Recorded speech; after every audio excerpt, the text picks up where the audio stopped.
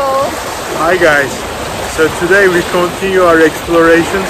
We found a hidden gem in Toronto. Uh, it's the RC Harris water treatment plant. It's a treatment plant that's not in operation. Uh, it's next to water, Ontario Lake. A beautiful place. We'll show you around, guys. You'll love it.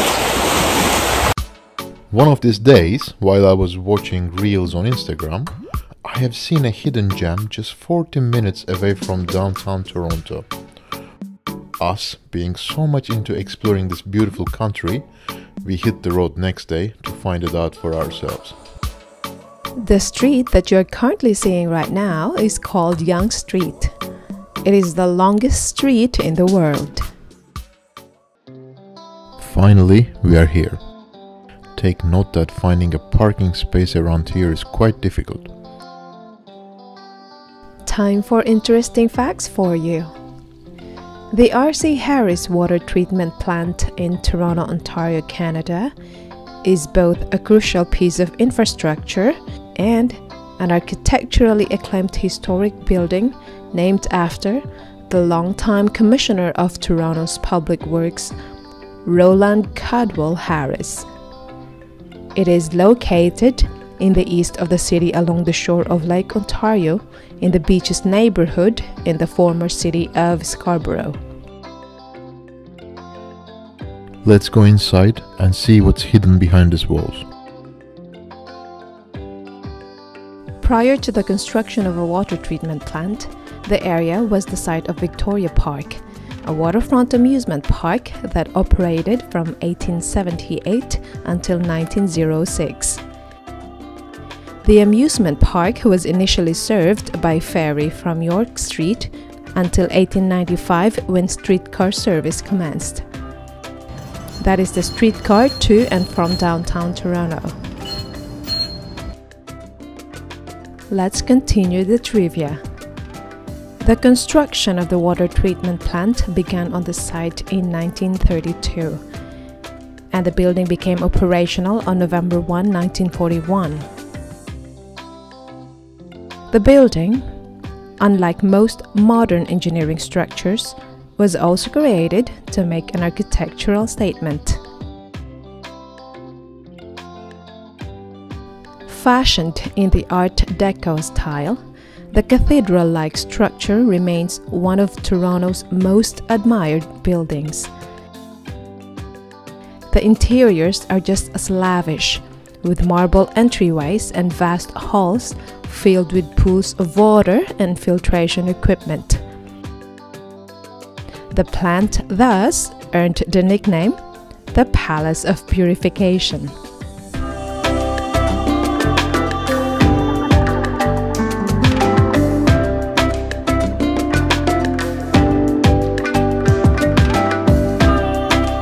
Now we are starting to see why this is tagged as a hidden gem. I agree, babe. With the polished and calm surroundings and the beautiful architecture sitting uphill the shoreline of Lake Ontario, it is a picturesque sight. You know, despite its age, the plant is still fully functional, providing approximately 30% of Toronto's water supply. Let's go to the jetty. It's weekend here and we would expected the place to be very busy and crowded. But it isn't. It's quite a surprise for us. This is a peaceful and beautiful place.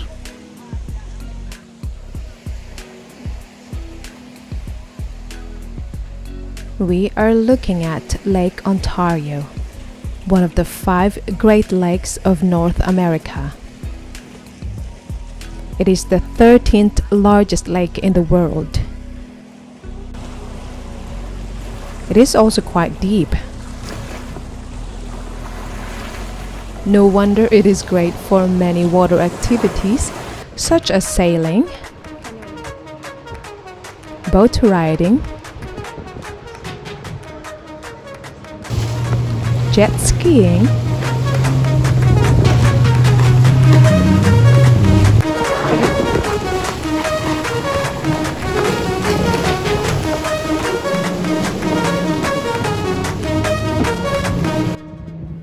kayaking,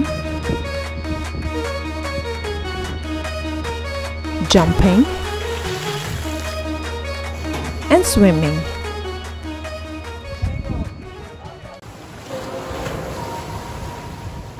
When its islands are included, the lake's shoreline is 712 miles or 1,146 kilometers long.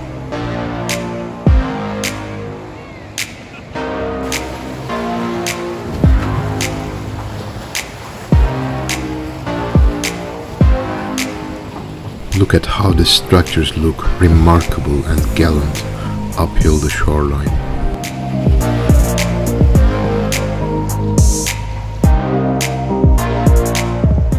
Where we are right now is part of an area called The Beaches, a neighborhood in Toronto. It is so named because of its four beaches situated on Lake Ontario.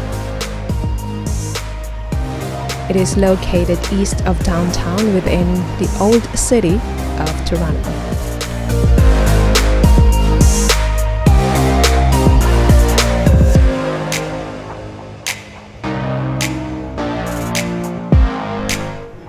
Although it is continuous, there are four names which correspond each to approximately one quarter of the length of the beach.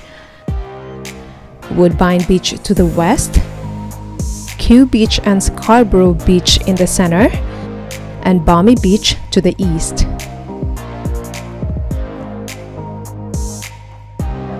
This is really a great place to visit for your every mood. As you can see, some people here are gathering for certain celebrations, while others, like these young, high spirited boys, are into something more thrilling. We did not expect what these boys would do.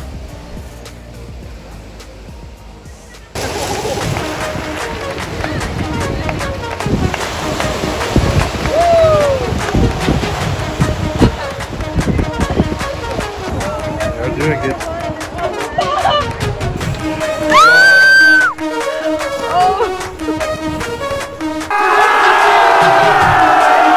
That was brilliant. Well done, boys. We enjoyed it. It is such a lovely day. Perfect weather. That's it for today's exploration, guys. Bye, guys.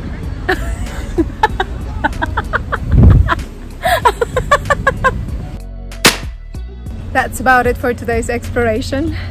And if you like the bicycle stunts, Yeah. please like, subscribe and share our videos. Until then, thanks for watching. Bye. Bye guys.